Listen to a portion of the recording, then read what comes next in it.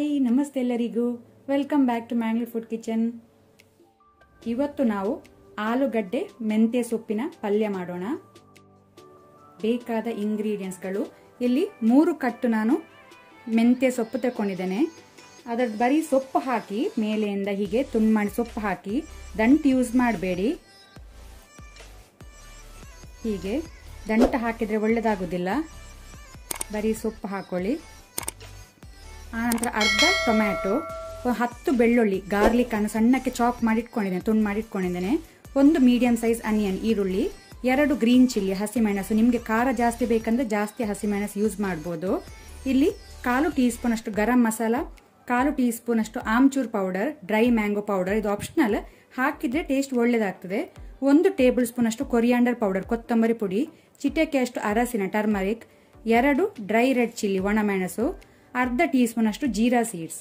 So ಇಷ್ಟೆಲ್ಲ ಇಂಗ್ರೀಡಿಯೆಂಟ್ಸ್ಗಳು ಬೇಕಾಗಿದೆ. ಇಲ್ಲಿ ನಾನು ಪಾತ್ರೆ ಬಿಸಿ ಇಡ್ತೇನೆ. ಪಾತ್ರೆ ಬಿಸಿ ಆದಂತ ಒನ್ ಟೇಬಲ್ ಸ್ಪೂನ್ ಅಷ್ಟು ಕುಕ್ಕಿಂಗ್ ಆಯಿಲ್ ಹಾಕೋಣ. ಎಣ್ಣೆ ಬಿಸಿ ಆಗಲಿ. ಈಗ ಎಣ್ಣೆ ಬಿಸಿ ಆದ ನಂತರ ಆಲೂಗಡ್ಡೆ, ಪೊಟ್ಯಾಟೊ ಹಾಕೊಳ್ಳುವ. ಫ್ಲೇಮ್ ಮೀಡಿಯಂ ಅಲ್ಲಿ ಇಟ್ಕೊಂಡಿದ್ದೇನೆ.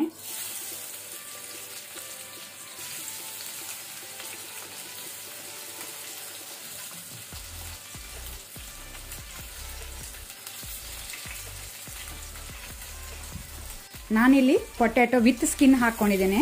ನೀವು ವಿತ್ ಸ್ಕಿನ್ ಅಥವಾ ವಿತೌಟ್ ಸ್ಕಿನ್ ಸಹ ಹಾಕ್ಬೋದು. ಸಿಪ್ಪೆ ತೆಗೆದು ಸಹ ಹಾಕ್ಬೋದು. ಸಿಪ್ಪೆ ಇದ್ದರೆ ರುಚಿ ಜಾಸ್ತಿ. ಸೊ ಇದನ್ನೀಗ ನಾವು ಮೀಡಿಯಂ ಫ್ಲೇಮಲ್ಲಿ ಸ್ವಲ್ಪ ಕಲರ್ ಚೇಂಜ್ ಆಗೋ ತನಕ ಎಣ್ಣೆಯಲ್ಲಿ ಫ್ರೈ ಮಾಡ್ಕೊಳ್ಳುವ.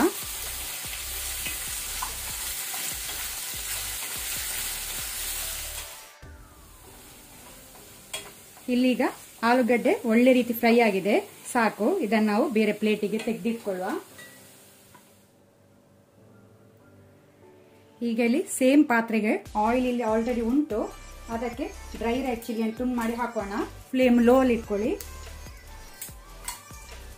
ಅದರ ಜೊತೆನೆ ಜೀರಾ ಸೀಡ್ಸ್ ಜೀರಿಗೆ. ನಂತರ ಗಾರ್ಲಿಕ್ ಬೆಳ್ಳುಳ್ಳಿ.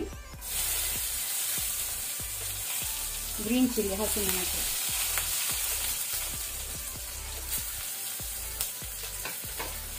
ಸೊ ಇದನ್ನೀಗ ಲೋ ಫ್ಲೇಮಲ್ಲಿ ಗಾರ್ಲಿಕ್ ಅದು ಸ್ವಲ್ಪ ಕಲರ್ ಚೇಂಜ್ ಆಗೋ ತನಕ ಫ್ರೈ ಮಾಡ್ಕೋಣ.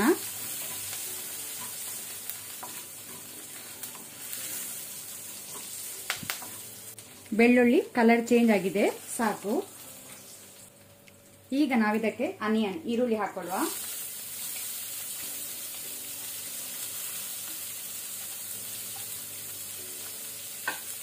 ಅದರ ಜೊತೆ ಸಾಲ್ಟ್ ಉಪ್ಪು.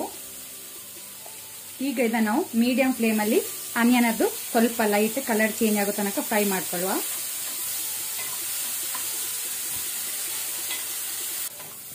ಈಗ ಇಲ್ಲಿ ಈರುಳ್ಳಿ ಫ್ರೈ ಆಗಿದೆ. ಸಾಕು. ಈಗ ತುಂಬ ಮಾಡಿದ ಟೊಮ್ಯಾಟೊ ಹಾಕೋಣ. ಇದನ್ನು ಸಹ ಸ್ವಲ್ಪ ಫ್ರೈ ಮಾಡ್ಕೊಳ್ಳುವ. ಈಗ ಇಲ್ಲಿ ಟೊಮೆಟೊ ಸ್ವಲ್ಪ ಫ್ರೈ ಆಗಿದೆ. ಈಗ ನಾವು ತೆಗೆದಿಟ್ಕೊಂಡಂತಹ ಎಲ್ಲ ಮಸಾಲವನ್ನು ಹಾಕೋಣ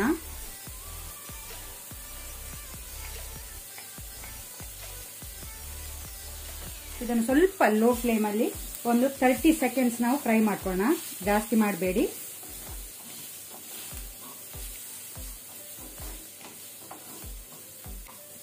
ಸಾಕು.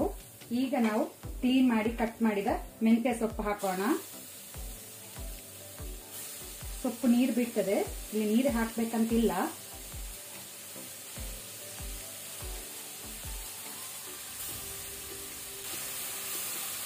ಒಮ್ಮೆ ಇದನ್ನು ನಾವು ಒಳ್ಳೆ ರೀತಿ ಮಿಕ್ಸ್ ಮಾಡ್ಕೋಣ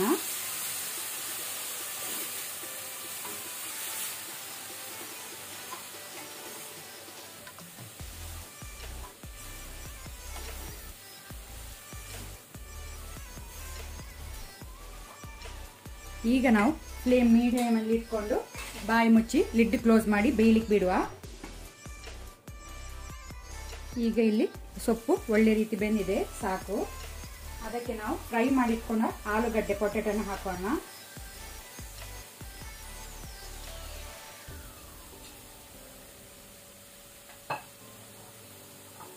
ಒಮ್ಮೆ ಅದನ್ನು ಒಳ್ಳೆ ಮಿಕ್ಸ್ ಮಾಡ್ಕೊಳ್ಳಿ.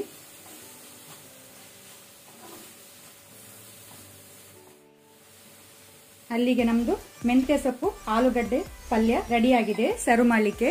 ಇದು ಚಪಾತಿ ಜೊತೆ, ಅಕ್ಕಿ ರೊಟ್ಟಿ ಜೊತೆ ಈವನ್ ಅನ್ನದ ಜೊತೆ ಒಳ್ಳೆ ಕಾಂಬಿನೇಷನ್ ಮಿಸ್ ಮಾಡದೆ ಮನೇಲಿ ಟ್ರೈ ಮಾಡಿ ನನಗೆ ಟೇಸ್ಟ್ ಹೇಗೆ ಆಗಿದೆ ಅಂತ ಕಾಮೆಂಟಲ್ಲಿ ಹೇಳಿ. Thank you